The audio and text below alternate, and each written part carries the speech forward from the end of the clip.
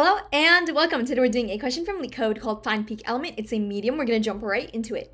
A peak element is an element that is strictly greater than its neighbors. Given a zero indexed integer array nums, find a peak element and return its index. If the array contains multiple peaks, return the index to any of the peaks.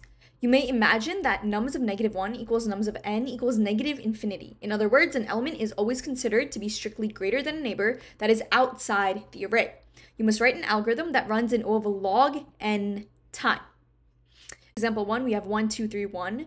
And here we return index 2, element 3, because that is a peak. It is strictly greater than both of its neighbors. And example 2, we have the following input nums. Here we have multiple options to return. There are multiple peaks here. We could return index 1, this 2 over here. We could also return index 5, element 6 over here. Both are strictly greater than their neighbors. And we have some constraints over here. Nums of i does not equal nums of i plus 1 for all valid i. So no number is equivalent to its neighboring number. How are we going to solve this? We want to find a peak in our input array, and we want to do this in log of n time. Now this is usually an indication that we want to do some sort of binary search. But if we have no idea where to begin with this sort of problem, like always, we're just gonna run through some examples. We're gonna start off really basic. So first example, say we just have one element, just the number one. What's the peak here?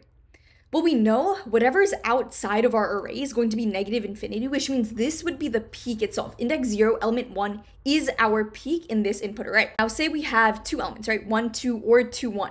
What is the peak here? Well, over here, 2 is greater than 1, and 2 is also greater than negative infinity, which is after the array end. So here the peak is 2.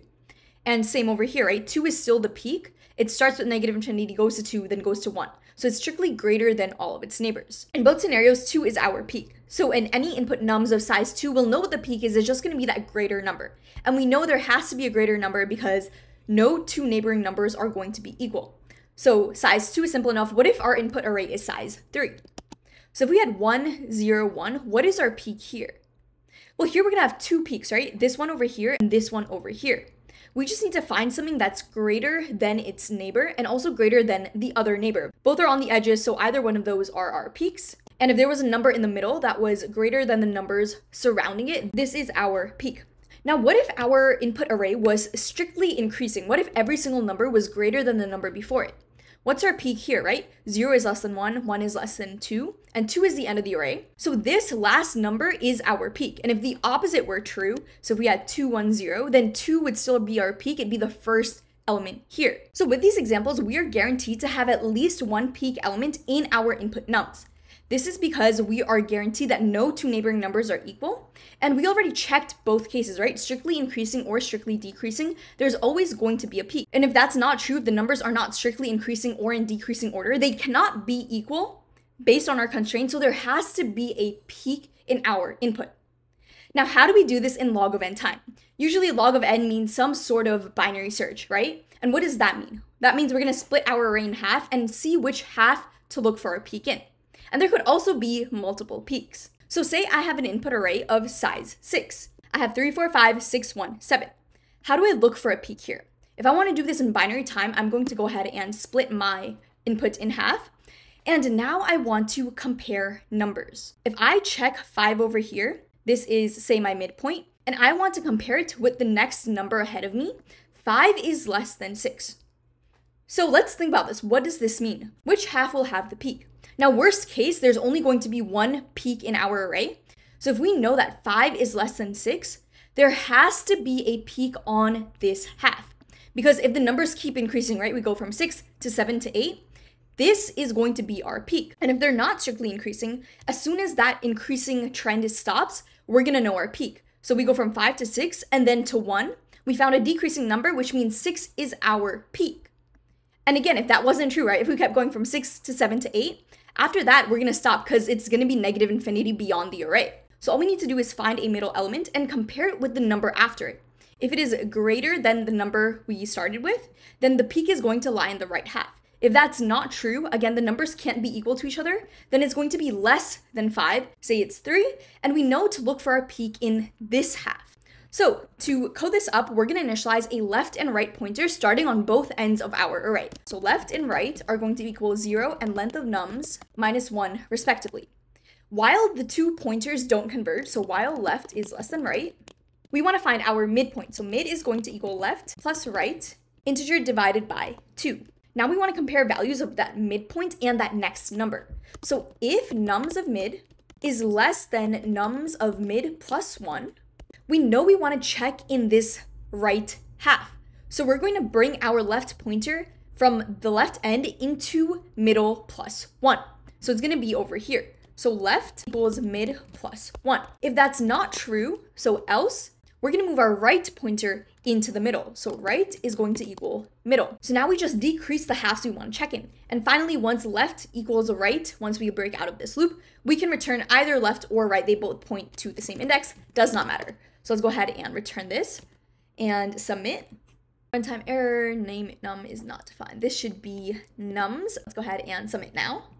And it is accepted. Now before leaving, let's just run through a super quick example going through our code line by line to make sure we truly understand exactly what is happening. This is our input nums, length of 7. We have 1, 2, 1, 3, 5, 6, 4. Going line by line, we start with left being index 0 and right being length of nums minus 1. So left and right are on both ends. Now while left is less than right, that is true, we go in this while loop. What is mid? Mid is going to be left plus right divided by 2. So 0 plus 6 is 6, dividing that by 2 is 3. So our midpoint is 3 over here. Now we make a check. Nums of mid, so what is that index 3? That's also element 3. Is this less than nums of mid plus 1? This is less than nums of mid plus 1, so we're going to move left in to mid plus 1. So left is over here. And why, right? We know there has to be a peak in this half since 3 was less than 5. So now that we move left over here to mid plus 1, we don't go into this else, and we're back in this while loop. Left is still less than right, so now we calculate mid again. So what is the index that left and right are on? So that's 4 and 6. 4 plus 6 is 10. Dividing that by 2, we get 5. So mid is at index 5 over here. Now nums of mid, is this less than nums of mid plus 1? That is not true, right? 6 is not less than 4. So we don't go in this if and we go into this else instead. So now right is going to equal mid. So right has moved to index 5 element 6 over here. We go back in this while loop one last time. Left is still less than right. And we calculate our new mid. So 4 plus 5 is 9. Integer dividing that by 2, we get 4 because we truncate any decimals. So now our mid is at 4. So we check, right? Is 5 less than 6? That is true. So now we're moving left to mid plus 1. So now left is going to equal where right is. So now once we go back to line 4, left is no longer less than right. They both point at the same index, so we break. And we return left, which is index 5. And that's correct because at index 5, we have a peak. 6 is strictly greater than both of its neighbors, both 5 and 4. Now 2 over here is also a peak, it's greater than both of its neighbors, but we just need to return one peak, one index, so that is what we return. And we're using a binary search to find our solution, so this is log of n for time. And for space, we just have two pointers that we're iterating, so this is gonna be constant O of 1 for space. So we just went ahead and solved find peak element. If you have any questions whatsoever, let me know down below. I will answer all of them. If this video was helpful, like, comment, and subscribe. It really supports the channel. And as always, I will see you in the next one.